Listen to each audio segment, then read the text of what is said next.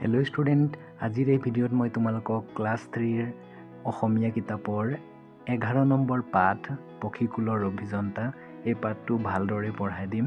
তোমালোকে ভালদৰে পাঠটো শুনি যাবা আৰু মোৰ লগে লগে মনোযোগ দি পঢ়ি যাবা ঠিক আছে? আৰু যদি মোৰ চেনেলটো ছাবস্ক্ৰাইব কৰা নাই তেনেহ'লে ছাবস্ক্ৰাইব কৰি ল'বা দেই। কাৰণ ছাবস্ক্ৰাইব কৰিলে এনেধৰণৰ এডুকেশ্যনেল ভিডিঅ'বোৰ তোমালোকে পাই থাকিবা। চ' ঠিক আছে তেনে আহা পাঠটো পঢ়োঁ। পাঠ নম্বৰ এঘাৰ। পক্ষীকুলৰ অভিযন্তা। আকাৰত সৰু মই কামত ডাঙৰ বা সাজি সাজি মোৰ নালাগে ভাগৰ। বুকুৰ উমাল পাখি হয় ৰঙচুৱা দেউকাৰ আগচোৱা হালধি মলোৱা। ঠোঁট আৰু চকুৰ মণি বাদামী ৰঙৰ বাদামী ৰঙৰ টুকুৰা চৰাই মই চহকী মনৰ। ঠিক আছে?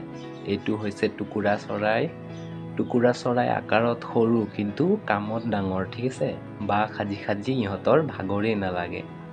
বুকুৰ ৰুমাল পাখি ৰঙচুৱা হৈ যায়। দেউকাৰ আগচোৱা হালধীয়া ঠিক আছে?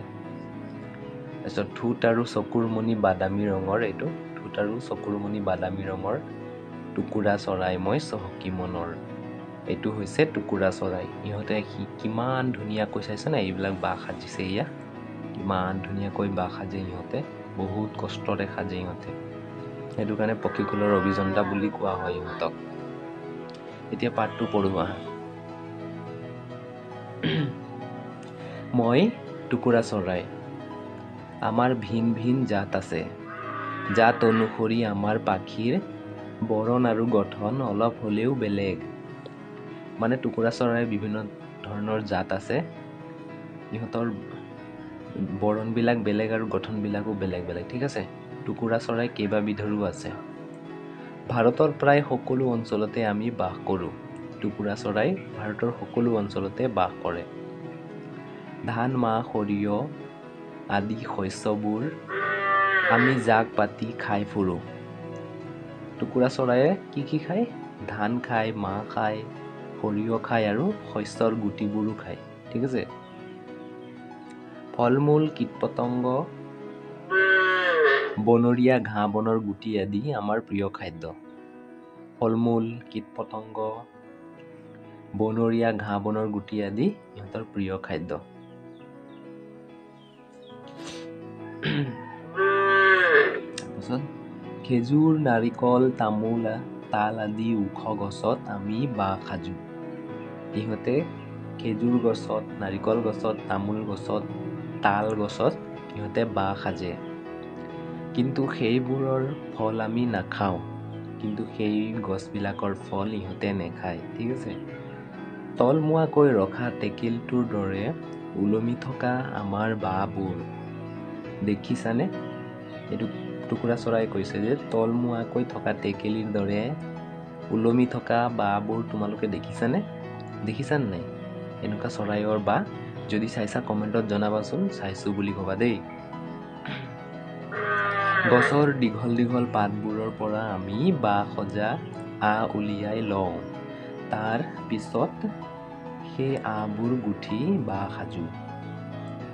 গছৰ পাতেৰে ইহঁতে কিমান ধুনীয়াকৈ গছৰ পাতেৰে আধা আঁহ হেৰি কৰি দিয়ে গছৰ পাতটো এনেকুৱা হেৰি কৰি লয় প্ৰথমতে গছৰ পাতটো এনেকুৱা সৰু সৰু টুকুৰা কৰি লয় তাৰপাছত এই গছৰ পাতটোৰে আৰু বেলেগ গছৰ পাত আনি আৰু এইটোৰে সাজি দিয়ে ধুনীয়াকৈ ঠিক আছে এতিয়া নেক্সট পেজ পঢ়িম।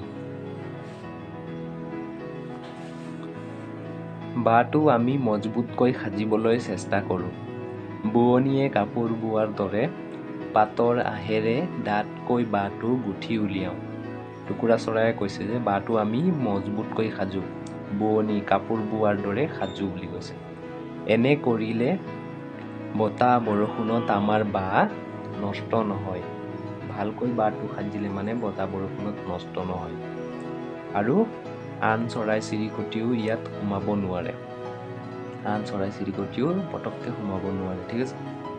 বাঁহটোৰ গুৰি অংশটো ঠেককৈ আৰু তাৰ মাজ অংশটো ক্ৰমাৎ বহলকৈ সাজোঁ। মাজভাগটো আহল বহল বাতি এটাৰ দৰে ঘূৰ খোৱা। তাতে আমাৰ মাইকী টুকুৰাজনীয়ে কণী পাৰি পোৱালি জগায়। বাঁহটোৰ তলৰ অংশটো ক্ৰমে চিয়া। চিয়া অংশৰ মূৰৰ ঠেক সূতাটোৰে আমি ওলোৱা সোমোৱা কৰোঁ।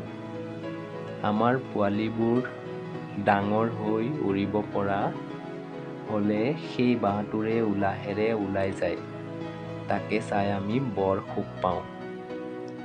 আমি বাঁহটো বৰ নিখুঁতকৈ সাজোঁ।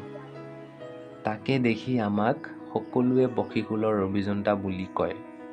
এই টুকুৰা চৰাইয়ে ধুনীয়াকৈ ইহঁতৰ বাঁহটো সাজে এনেকুৱা ধৰণৰ সাজে যে পটককৈ ভাঙিও নাযায় বতাহ বৰষুণে নষ্টও কৰিব নোৱাৰে আৰু ফটককৈ নষ্টও নহয় বাঁহটো ঠিক আছে? বহুত ধুনীয়াকৈ সাজে একদম সুন্দৰকৈ। চ' পাৰ্টটো ইমানতে শেষ হৈছে।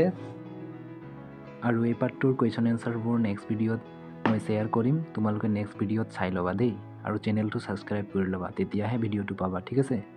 so thank you for watching. Thank you. Bye. Next video log PAMDI.